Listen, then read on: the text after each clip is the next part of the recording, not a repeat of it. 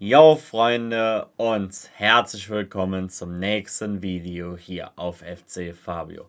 Damit meine Freunde zu meinem zwölften Match-Talk in dieser Saison zu unserem Heimspiel gegen Holstein Kiel. DFB-Pokal, zweite Runde. Das Spiel wird am 29.10. um 20.45 in Müngersdorf stattfinden.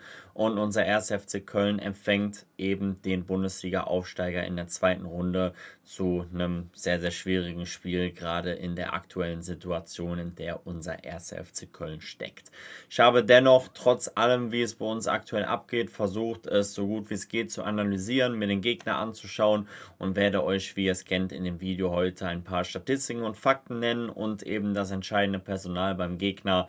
Daher, meine Freunde, hoffe ich, dass das Video euch trotzdem gefallen wird. Lehnt euch in jedem Fall zurück, genießt das Video mit mir und wir fangen erstmal mit den Statistiken und Fakten zur Begegnung Köln und Holstein Kiel an. Es ist so, dass der FC und Holstein Kiel bislang im Profifußball erst viermal aufeinander getroffen sind.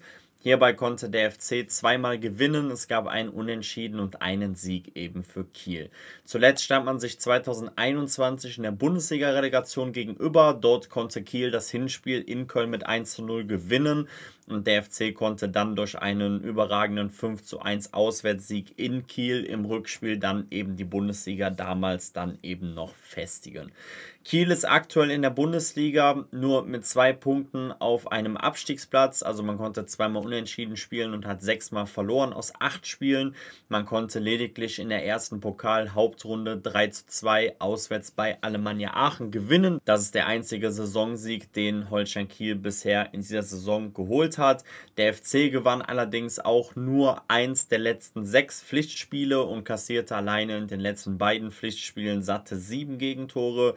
Holstein Kiel hat allerdings mit 23 Gegentoren in der Bundesliga die schlechteste Defensive der Liga, also auch die Kieler defensiv sehr, sehr anfällig und es ist noch eine allgemeine Statistik, um das Ganze hier abzurunden, vorhanden. Holstein Kiel setzte sich in 11 von 13 Fällen gegen unterklassige Gegner durch und der FC schied in 8 von 12 Fällen gegen höherklassige Teams aus. Ich glaube, dass das auch so eine Statistik ist, die man hier mal nennen kann und mit der man das Ganze in jedem Fall abrunden kann. Man kann sagen, bei beiden Teams läuft es auf jeden Fall ja, alles andere als gut, kann man in jedem Fall so sagen. Wobei bei Kiel als Bundesliga-Aufsteiger das Ganze schon so ein bisschen zu erwarten war, dass es da extrem schwierig wird. Dennoch haben die Kieler ein paar Leute, die man sich mal genau anschauen kann.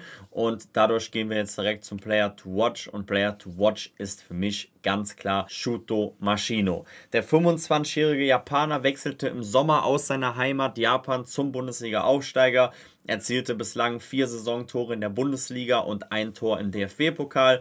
Damit ist er Kiels bester Torschütze. Er ist mit 1,85 Meter relativ groß gewachsen, eben für einen Asiaten.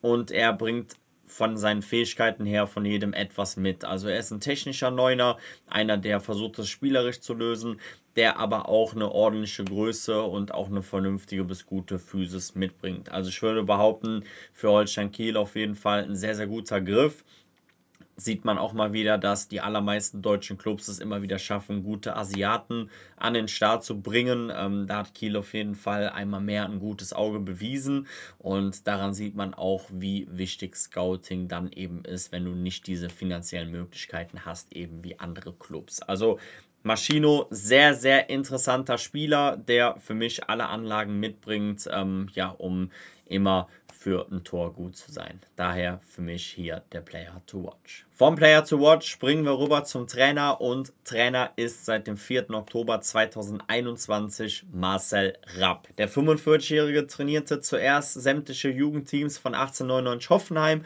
übernahm dann Kiel und entwickelte den Club stetig weiter. Im vergangenen Sommer ging es dann überraschend in die Bundesliga. Ich denke, das hat Kiel gerade vor der Saison nahezu niemand zugetraut.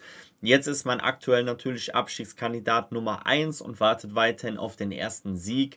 Aber ich denke, mit diesem Verein mal in der Bundesliga zu spielen, ist in jedem Fall ein, ja, eine riesige Nummer und das muss man den Kielern da auf jeden Fall groß anrechnen. Wenn wir jetzt rein uns Marab anschauen, dann ist es so, dass er taktisch immer versucht zu variieren. Er hat in dieser Saison schon sämtliche Systeme versucht. In den allermeisten Fällen ist es eine Dreier-Fünfer-Kette, wobei er vereinzelt auch beispielsweise gegen Bayern 4-3-3 gespielt hat oder halt eben auch mal in einem 4-4-2 gespielt hat.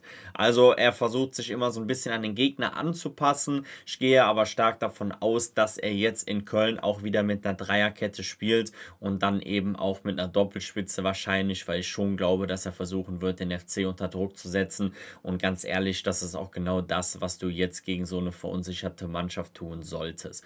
Ich glaube, dass für Kiel ein Erfolg jetzt in Köln ähm, schon sehr, sehr viel Selbstvertrauen vielleicht auch für die Liga geben kann.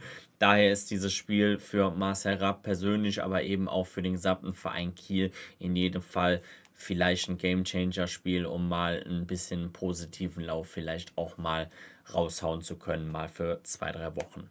Von daher Marcel Rapp, interessanter junger Coach, der viele, viele Jugenderfolge vorweisen konnte mit Hoffenheim und der halt eben jetzt mit Holstein Kiel die schwere Aufgabe Bundesliga angeht. Nun geht es rüber zu den Ausfällen. Wir fangen mit dem FC an, ist schnell erzählt. Es ist Jakob Christensen und Luca Kilian, die ja weiterhin langzeitmäßig ausfallen.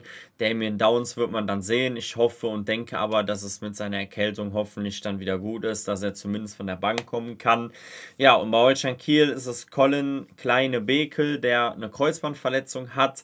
Dann gibt es noch ein paar Spieler, die aufgrund von Blessuren fraglich sind. Das ist Louis Holtby, der Rückenbeschwerden hatte, Andu Kelati mit Knieproblemen und Alexander Bernhardsson mit muskulären Problemen. Da wird man sehen, wer von denen dann auch wirklich auflaufen kann. Das wären aber in jedem Fall zum aktuellen Stand jetzt am Sonntag, wo ich das Video bereits aufnehme, die Ausfälle, schrägstrich vermeintlichen Ausfälle eben von beiden Clubs. Und nun gehen wir rüber zur Mannschaftsaufstellung vom 1. FC Köln und ich muss sagen, ich habe mir ein bisschen Gedanken gemacht, wie ich das Team ins Rennen schicken würde. Ich glaube aber nicht, dass Gerhard Struber da wirklich so viel verändert. Aber ich glaube, dass das, was ich jetzt sage, mal der Mannschaft ähm, ja, signalisieren sollte, dass nicht immer nur die gleichen spielen. Ich habe in jedem Fall im Tor Jonas Urbig natürlich aufgestellt, Rasmus Carstensen ist mein Rechtsverteidiger, Timo Hübers, Julian Pauli weiterhin die Innenverteidigung, Lea Paccarada auf der Linksverteidigerposition, Martin und Hussein Basic bilden weiterhin die Zentrale, Linden Meiner ist jetzt bei mir auf der rechten Seite, weil ich auf der linken Seite wirklich mal Max Finkgräbe jetzt mal das Vertrauen geben würde, den könnte man ja auch zur Halbzeit oder nach 60 Minuten dann auch wieder runternehmen. Aber ich glaube, dass man jetzt aufgrund dieser aktuellen Krise da einfach mal ein bisschen probieren muss.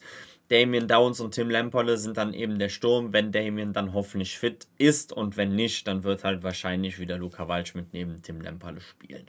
Das wäre jetzt so meine Veränderung. Ich würde also Finkgräfe und Carstensen mal einfach in den Ring werfen und bin abschließend gespannt, wie ihr das Ganze seht. Das wäre meine Formation für unser Pokalspiel gegen Holstein Kiel.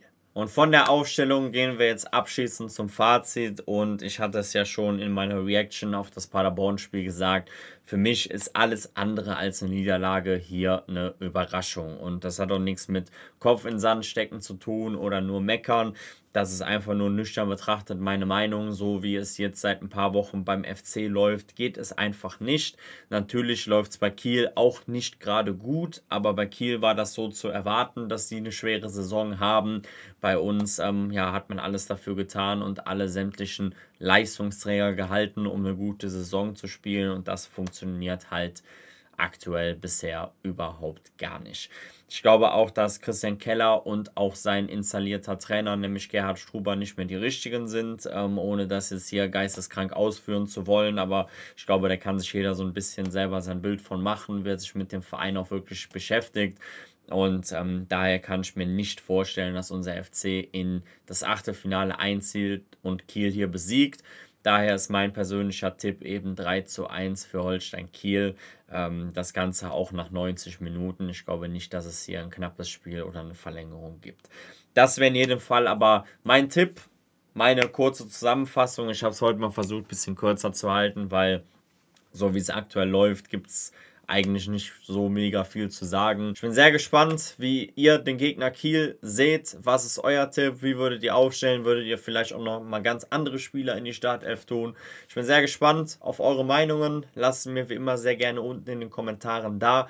Und dann würde ich mich wie immer neben euren Meinungen über einen Daumen nach oben freuen, über ein Abo, falls ihr neu seid. Und dann würde ich sagen, sehen wir uns beim nächsten Video. Was auch immer ich mache, wieder. Euer Fabius raus. Haut da rein und Ciao. Fearless.